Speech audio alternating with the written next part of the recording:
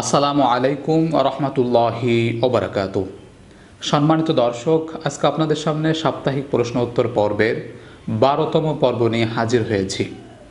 যথারীতি আজকে প্রশ্নোত্তর পর্বেও মোট বিশটি প্রশ্নের উত্তর থাকবে। প্রশ্ন নাম্বার দুইশো একুশ থেকে দুইশো চল্লিশ পর্যন্ত। তাহলে কালক্ষেপণ না করে চলুন শুরু করি। দুইশো একুশ নম্বর প্রশ্ন অস্ট্রেলিয়ার ব্রিসবন থেকে লিখেছিলেন আহমদ ফরিদ। তিনি প্রশ্ন লিখেছিলেন, মাগরিবের নামাজ কি অক্ত হলেই পড়া যাবে নাকি কিছুক্ষণ অপেক্ষা করতে হবে? এ প্রশ্নের উত্তর হল, মাগরিবের অক্ত হওয়ার সাথে সাথেই নামাজ, ফরজ নামাজ পড়া যেতে পারে। কিছুক্ষণ অপেক্ষা করে তারপরে পড়তে হবে, এটা এরকম কোনো নিয়ম কোরআন সুন্নার মধ্যে সাব্যস্ত নয়। যে কোনো নামাজেই ওয়াক্ত হওয়ার সাথে সাথেই আওয়াল ওক্তে নামাজ পড়া যাবে, বিশেষ করে মাগরিবের নামাজ। মাগরিবের নামাজের ওয়াক্ত হওয়ার সাথে সাথে, অর্থাৎ সূর্য অস্তমিত হওয়ার সাথে সাথে পড়তে হয়। বেশিক্ষণ দেরি করতে হয় না, অপেক্ষা করতে হয় না। এরপর দুইশো বাইশ নম্বর প্রশ্ন, কুমিল্লা থেকে লিখেছিলেন সুলতানা কামাল। তিনি প্রশ্ন লিখেছিলেন বিনা কারণেই মানসিক দুশ্চিন্তা এবং খারাপ স্বপ্ন দেখা দেয়। এ থেকে বাঁচার উপায় কি? যাদের সার্বক্ষণিক দুশ্চিন্তা এবং রাতে স্বপ্নে খারাপ স্বপ্ন দেখেন, এ থেকে বাঁচার জন্য আপনারা একটু আগে আগে ঘুমোতে যাবেন। সারাদিন দ্বারা দুশ্চিন্তায় ভোগেন, তাদের ঘুমের কমতি হওয়ার কারণে এবং ঘুমের মধ্যে দুঃস্বপ্ন দেখার কারণে তারা এই দুশ্চিন্তার মধ্যে ভোগেন। এজন্য আপনারা ঘুমে দেরি করবেন না, খুব দ্রুত ঘুমাতে চলে যাবেন এবং খুব দ্রুত, অর্থাৎ ফজরের অক্ত হওয়ার সাথে সাথে বা আজান হওয়ার সাথে সাথে উঠে পড়বেন। এবং সেই সাথে আপনি যখন রাতে ঘুমোতে যাবেন, যদি অজু না থাকে, অজু করে ঘুমাবেন এবং ঘুমানোর পূর্বে আয়তুল কুরসি পাঠ করে ঘুমাবেন, সেই সাথে ঘুমের দোয়া পাঠ করে ঘুমাবেন। আল্লাহুম্মা বিস্মিকা মুত আহিয়া এই দোয়া পাঠ করে এরপরে ঘুমাতে যাবেন। তাহলে দেখবেন যে রাতে ঘুমের মধ্যে এই খারাপ স্বপ্ন আসবে না। এবং যদি আপনি টাইমলি ঘুম থেকে উঠে পড়েন, ফজরের নামাজ পড়েন, তাহলে দেখবেন যে আপনি সারাদিন এই যে বিনা কারণে যে দুশ্চিন্তায় ভোগেন, এটাও আল্লাহ তালা কেটে দিবেন। আল্লাহ তালা দূর করে দেবেন, ইনশাআল্লাহ। এরপর দুইশো তেইশ নম্বর প্রশ্ন। বরিশাল থেকে লিখেছিলেন মাসুম বিল্লাহ। তিনি প্রশ্ন লিখেছিলেন ক্যালেন্ডারে মানুষের বা প্রাণীর ছবি থাকলে সেই ক্যালেন্ডার ঘরে বা অফিসে টানানো যাবে কি না এই প্রশ্নের উত্তর হলো যাবে না। কোনো ক্যালেন্ডারের পাতায় যদি মানুষের ছবি অথবা প্রাণীর ছবি অঙ্কিত থাকে, সেটা ফটো আকারে হোক আর মানুষের হাতে আঁকা হোক, যে কোনো ছবি হোক না কেন, সেটা ঘরের ভিতরে টানিয়ে রাখা যাবে না। শুধুমাত্র প্রাকৃতিক সিনারি ফল, ফুল মাঠ শস্য ইত্যাদি প্রাকৃতিক সৌন্দর্য বর্ধনকারী যে সমস্ত পিকচারগুলো আছে, সেইগুলো সম্বলিত কোনো পেপার বা ক্যালেন্ডার এগুলো আপনি রাখতে পারেন, ঘরে টানিয়ে রাখতে পারেন, কোনো সমস্যা নেই। কিন্তু যেগুলোতে প্রাণী বা মানুষের ছবি থাকে, সেগুলো ঘরে কিংবা অফিসে টানানো যাবে না। এরপর দুইশো চব্বিশ নম্বর প্রশ্ন, মাদারীপুর থেকে লিখেছিলেন খলিলুর রহমান তিনি প্রশ্ন লিখেছিলেন, ইশরাকের নামাজ কখন এবং কত রাকাত পড়তে হয়? এই প্রশ্নের উত্তর হলো, ইশরাকের নামাজ ফজরের নামাজের কিছুক্ষণ পরেই পড়তে হয়। অর্থাৎ ফজরের নামাজের পরে যখন সূর্য উঠতে আরম্ভ করে, সূর্য পরিপূর্ণ ওঠার পর থেকে ইশরাকের অক্ত শুরু হয়। তো সূর্যটা পরিপূর্ণ ওঠার সাথে সাথে ইশরাকের নামাজ পড়তে হয়। এক খাদিস আল্লাহ রসুল সাল্লাহ আলী হোসাল্লাম বলেছেন তোমরা যখন ফজরের নামাজ শেষ করবে, যথাস্থানে বসে থাকবে এবং সূর্যটা যখন উঠে যাবে, তখনই তোমরা দুরাকাত ইশরাকের নামাজ পড়বে। অর্থাৎ ইশরাকের নামাজ দুরাকাত এবং যেটা সূর্য ওঠার সাথে সাথে পড়তে হয়, দেরি করে পড়তে হয় না। সূর্য ওঠার পরে যেটা নয়টা, দশটার দিকে দেরি করে পড়তে হয়, সেটাকে বলা হয় চাষতের নামাজ বা সালাতুদ্দোহা বা আওয়াবিন ইত্যাদি। তবে সূর্য ওঠার সাথে সাথে যে নামাজটা পড়তে হয় ফজরের পরে, সেটা হলো ইশরাকের নামাজ। এ নামাজ দুই রাকাত। এরপর দুইশো পঁচিশ নম্বর প্রশ্ন, ঢাকার উত্তরা থেকে লিখেছিলেন নূর জাহান তিনি প্রশ্ন লিখেছিলেন চাপ কলের পানিতে দাঁড়িয়ে অজু করা যাবে কিনা নাকি বসে অজু করতে হবে? আসলে আদব হলো বসে অজু করা। তবে যদি বসে অজু করার ব্যবস্থা না থাকে, চাপ কলে যদি আপনি দাঁড়িয়ে অজু সেরে ফেলেন, এতেও কোনো সমস্যা হবে না অজু হয়ে যাবে। এরপর দুইশো ছাব্বিশ নম্বর প্রশ্ন, কাতার থেকে লিখেছিলেন আব্দুল বাসেত তিনি প্রশ্ন লিখেছিলেন, আজান দেওয়ার সময় কানে হাত না দিলে কি আজান হবে? এই প্রশ্নের উত্তর হলো, আজান দেওয়ার সময় কানে হাত দেওয়াটা বাধ্যতামূলক না। কানে হাত এজন্য দেওয়া হয় যেন মুখের আওয়াজটা একটু বুলন্দ করা হয়। মুখের আওয়াজটাকে একটু উচ্চ আওয়াজে সম্প্রসারিত করা যায়, সেই লক্ষ্যে কিন্তু কানে আঙ্গুল দেওয়া হয় বা হাত দেওয়া হয়। মূলত কানে হাত দেওয়া আজানের সুন্নত বা নিয়ম নয় বা বাধ্যতামূলকও নয়। আপনি চাইলে কানে হাত দিতে পারেন, চাইলে না, হাত না দিয়েও আজান দিতে পারেন, কোনো সমস্যা নেই। এরপর দুইশো সাতাশ নম্বর প্রশ্ন, নারায়ণগঞ্জ থেকে লিখেছিলেন মৌসুমি আক্তার। তিনি প্রশ্ন লিখেছিলেন, মেয়েরা নাক বা কান ফুটো না করলে কি সমস্যা হবে? অর্থাৎ মেয়েরা যে নাকে ফুল নেওয়ার জন্য নাক ফুটো করে, কান ফুটো করে, এই ফুটো করা কি বাধ্যতামূলক নাকি না ফুটো না করলে কোনো সমস্যা হবে কি না এই প্রশ্নের উত্তর হলো, ইসলামী শরিয়ার দৃষ্টিতে এটা ফুটো না করলে কোনো সমস্যা নেই।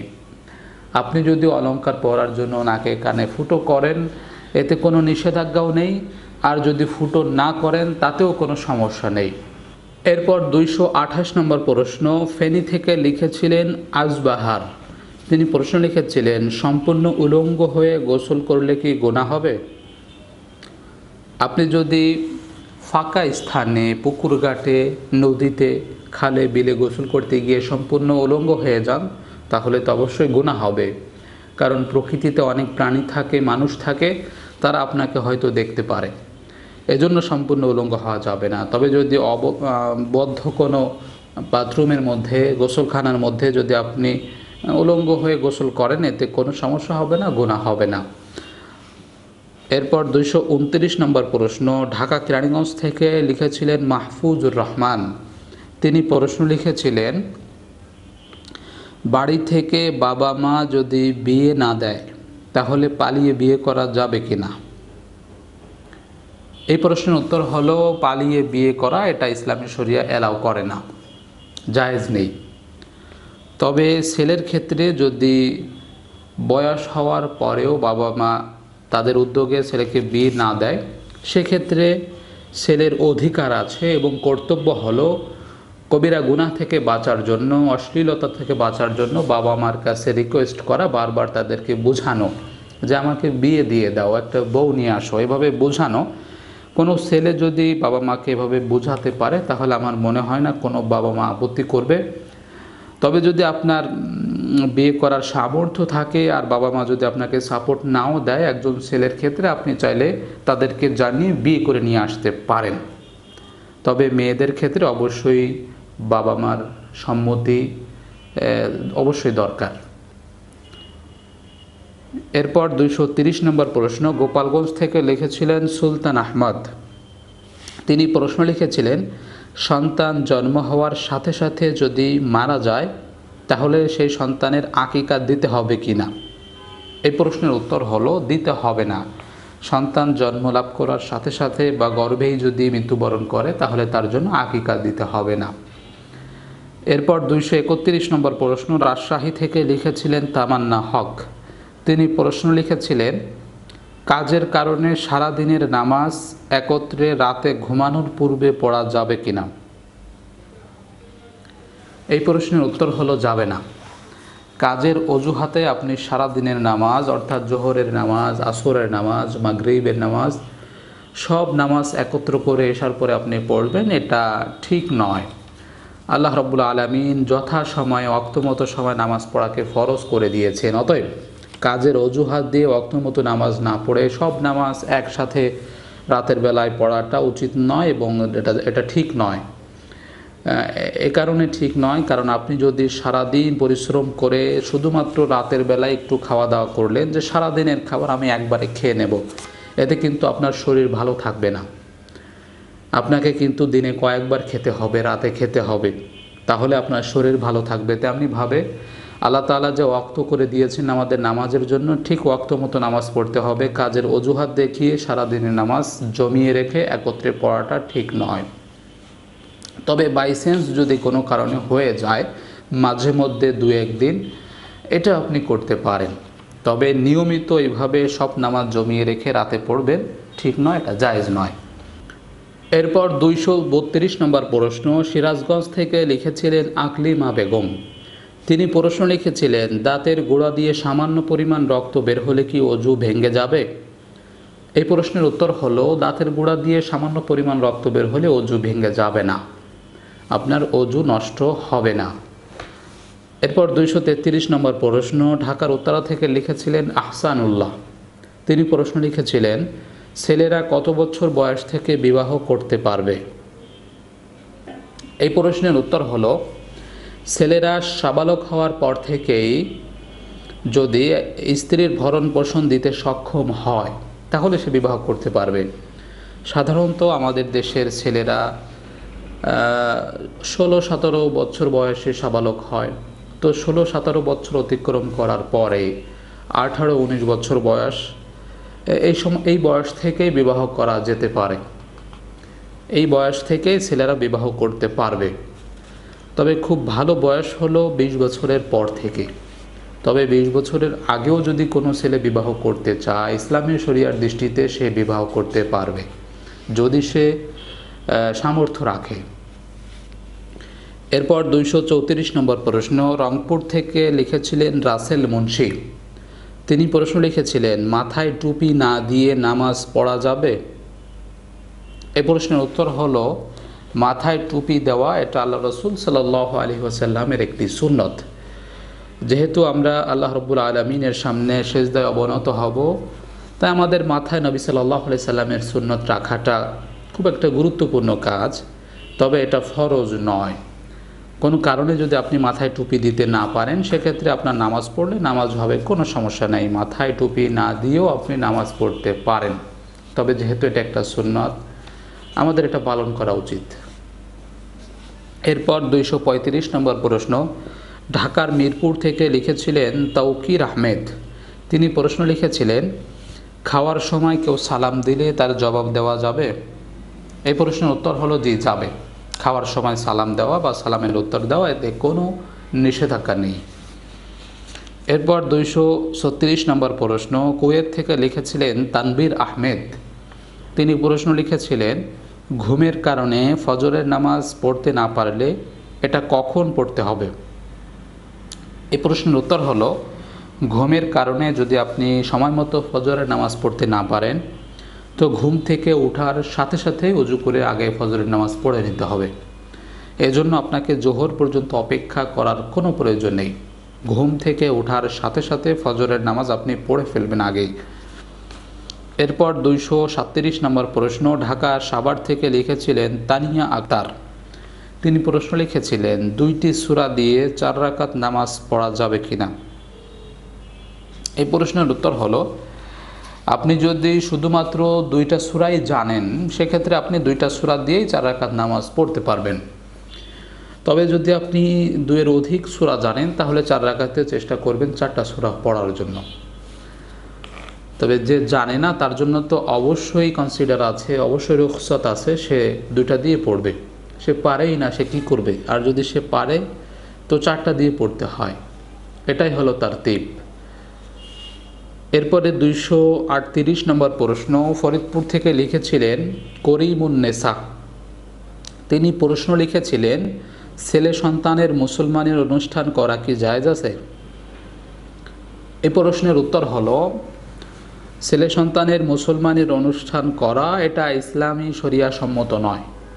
ইসলামী শরিয়া ছেলে সন্তানের মুসলমানিকে গোপন রাখতে বলেছেন, এটা প্রকাশ্যে এনে মানুষদেরকে দাওয়াত করে, ধুমধাম আয়োজন করে, অনুষ্ঠান করা, এটা শরিয়া সম্মত নয়। এটা বর্জন করা উচিত। এরপর দুইশো উনচল্লিশ নম্বর প্রশ্ন, কুমিল্লা থেকে লিখেছিলেন আসাদুল্লাহ। তিনি প্রশ্ন লিখেছিলেন, জাকাতের টাকা কি শুধু রমজান মাসে দিতে হয় নাকি বছরের যে কোনো দিন দেওয়া যায়? এই প্রশ্নের উত্তর হলো, রমজান মাসেই শুধু জাকাতের টাকা দিতে হয়, এটা নিয়ম নয়। রমজান মাসে দিলে সোয়াব বেশি হয়, এজন্য আমরা অধিকাংশই রমজান মাসে দেওয়ার চেষ্টা করি। তবে বছরের যে কোনো দিন জাকাতের টাকা দেওয়া যায়, এতে কোনো সমস্যা নেই।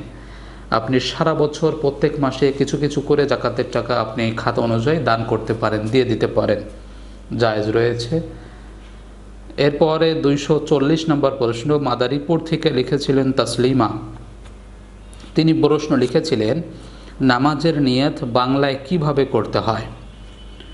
এই প্রশ্নের উত্তর হলো, নামাজের নিয়ত, আপনি যদি বাংলা ভাষী হন, তাহলে আপনি অন্তরে নিজের মনের মতো করে নিজের ভাষায় নিয়ত করবেন। সেটা হলো, আপনি এখন কিসের নামাজ এবং কত রাকাত নামাজ পড়তে চলেছেন? এই কথাগুলো নিজের মতো করে অন্তরে সংকল্প করতে হয়।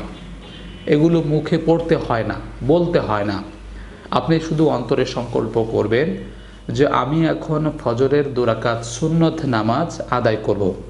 এই কথাগুলোই আপনার মতো করে অন্তরে শুধু সংকল্প আনবেন এই যে একটা সংকল্প আনলেন, এটাই নিয়ত হিসেবে যথেষ্ট। এটা মুখে উচ্চারণ করে পড়ার কোনো প্রয়োজন নেই। আশা করি বুঝতে পেরেছেন। আল্লাহ রবুল আলমিন আমাদেরকে সঠিকভাবে বুঝে সেই অনুযায়ী আমল করার তৌফিক দান করুন। আমিন ও আহমদ দাওয়ানা আলহামদুলিল্লাহ রবিল আলমিন। আসসালামু আলাইকুম রহমতুল্লাহি ওবরাকাতুহ